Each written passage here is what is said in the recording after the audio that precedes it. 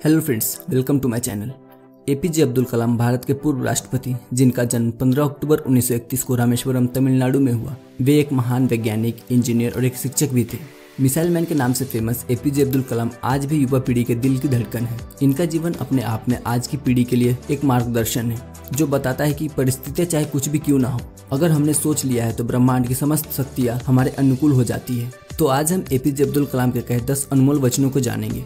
Number one rose सुबह पाँच बातें अपने आप से ज़रूर बोलनी चाहिए। मैं सबसे अच्छा हूँ, मैं ये कर सकता हूँ। भगवान हमेशा मेरे साथ है, मैं एक विजेता हूँ और आज का दिन मेरा दिन है। नंबर टू, सपने वो नहीं होते जो आप नींद में देखते हैं, बल्कि सपने वो होते हैं जो आपको नींद नहीं आने देते। नंबर थ्री, हर इंसान को कठिनाइयाँ ज़रूरी होती है, क्योंकि कामयाबी का आनंद उठाने के लिए ज़रूरी है। नंबर फोर, आप अपना आने वाला कल नहीं बदल सकते। लेकिन अपनी आदत तो ज़रूर बदल सकते हैं और निश्चित रूप से आपकी आदतें आपका आने वाला कल बदल देगी। नंबर फाइव, आत्मविश्वास और कठिन परिश्रम असफलता नामक बीमारी को मारने के लिए सबसे बढ़िया दवाई है। यह आपको एक सफल व्यक्ति बनाती है।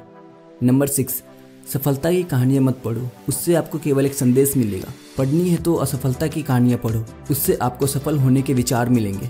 नंबर सेवन हम केवल तभी याद किए जाएँगे जब हम हमारी युवा पीढ़ी को एक समृद्ध और सुरक्षित भारत दे सके, जो कि सांस्कृतिक विरासत के साथ साथ आर्थिक समृद्धि के परिणाम स्वरूप प्राप्त हो। नंबर एट, आकाश की तरफ़ देखिए, हम अकेले नहीं है। सारा ब्रह्मांड हमारे लिए अनुकूल है, और जो सपने देखते और मेहनत करते हैं, उन्हें प्रतिफल देने की साजिश करता है।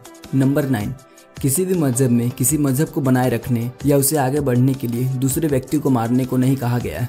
नंबर टेन काला कलर भावनात्मक रूप से बुरा होता है, परंतु हर ब्लैक बोर्ड विद्यार्थी के जीवन को ब्राइट बनाता है। सो फ्रेंड्स ये थी एपीजे अब्दुल कलाम के कुछ अनमोल विचार। अगर आपको वीडियो पसंद आई तो वीडियो को लाइक कीजिएगा और हमारे चैनल को सब्सक्राइब कीजिएगा। तो मिलते हैं आपसे अगले वीडियो में, तब तक के लिए गुड बाय।